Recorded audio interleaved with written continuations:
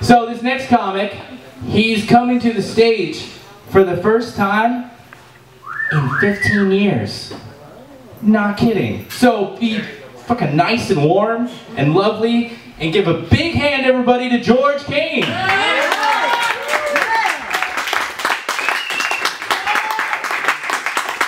Thanks, Cassidy. Thanks, man. do you guys like jerking off? Me and Cassidy does. Yeah. Um, and I'm not judging, because I do too. But uh, I will confess that I'm pretty vanilla when it comes to that sort of thing. I don't need to take it to strange new heights like some people need to get their jollies. You know, you've heard of some of this weird stuff where uh, people like hang themselves when they jerk off, and there's that autoerotic asphyxiation. And then there's this thing where people sit on their hand until it gets numb, and then they jerk off with that hand, and it feels like someone else is giving them a hand job, and they call that the stranger. Well, I've come up with a masturbation innovation that I'd like to share with you guys now. Um, so guys, what you do is you go out and you pick up this really slutty woman, right? You take her back to your place, and then you take your dick and insert it into her vagina repeatedly until you ejaculate and masturbate that way. I call that the really friendly stranger. My girlfriend hates that joke. My girlfriend loves peanut butter and she hates that joke. Shit, there I go again. Uh, using that word, girlfriend. Uh, she hates it when I call her my girlfriend, uh, primarily because she likes to fuck other guys. Uh, no, uh, she hates when I call her my girlfriend because if she puts it, she doesn't believe in putting labels on things, which I guess explains why she's always eating my fucking peanut butter. Relationship to work, you gotta want the same things. That's all I know. Um, my girlfriend and I are at loggerheads over a particular sticking point right now. She's getting to the point where she's starting to think about uh, starting a family, and uh, I'm getting to the age where I'm starting to thinking about uh, slaying one. hey, fuck you, it's my bucket list. Um, so one night we were having some blissful post-coital pillow talk, and I tossed this little chestnut out for her. I said, hey, just imagine you got $10 million, like you won the lottery, free and clear. What would you do? I'll go first.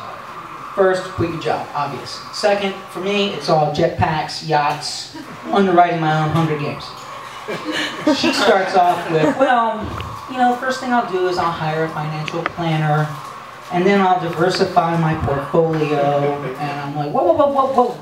Get to the fun shit. We'll have time to break ground on your wet blanket factory sometime down the road. That's not the point of this exercise. Have some imagination. Um, I am 41, which I didn't used to think of as being very old, but now I know for a fact that it is old, and I'll tell you how I know that 41 is old. The other night, my friend and I were out of a Santa Cruz evening, and uh, it was typically chilly Santa Cruz night, and we were dressed appropriately, and saw this guy walking down the street just in a t-shirt. And I turned to my friend and I said, you know, that guy ought to go home and put on a layer.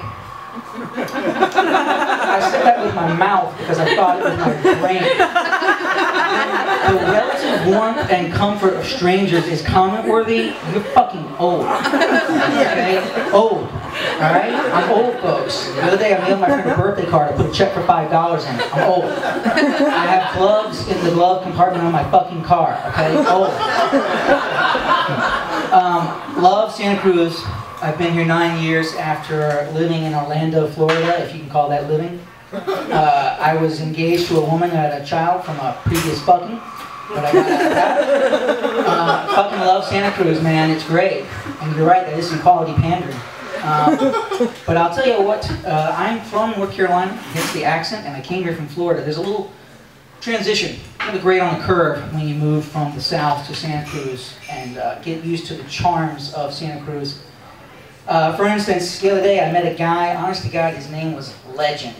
As in the legend of the boy who got his ass kicked every fucking day at school until he climbed a bell tower with a rifle and started picking people off saying, Call me Lee! Call me Lee! And I had to ask the guy, I said, seriously, how, how much do you fucking hate your parents for doing that to you? Like on a scale of 1 to 10, like if 1 is the Brady Bunch, and 10 is like Lohan Menendez brothers. Where, where, where do you at on that? Uh, you know, I don't know if this comedy thing's going to work out. It's debatable. But if it doesn't, I'll just become a fucking bum. Santa Cruz is a great town to be a bum, you may have noticed. The weather's nice. That's correct. Uh, charitable people. Um, but I don't, I'm not going to be like one of your garden variety, one of the mill Santa Cruz bums. I'm going to be a classy kind of bum. Instead of like a change cup, I'm going to hand out deposit slips. Um, good news. Downtown Santa Cruz is about to get a Forever 5. It's the Forever 21 for pedophiles. that joke always gets a big laugh at the pedophile bar. Um, good news further. Apparently I'm dating Taylor Swift. Who knew? Uh, I don't think it's going to work out though. Um, I don't see longevity there because uh, I'm 41 and she's a cunt.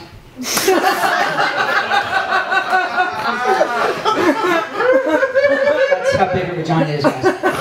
Um, but you know, it might work. Fuck me. We're both songwriters. Um, it might work. Uh, in fact, I wrote what I consider to be the world's most romantic song. I'm not going to sing it, but I'll tell you the title.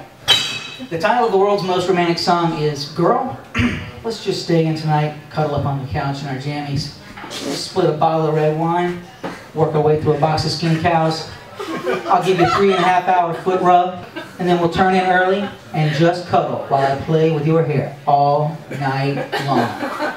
And then tomorrow night, we'll do whatever you want to do. That's my time. Thanks, folks.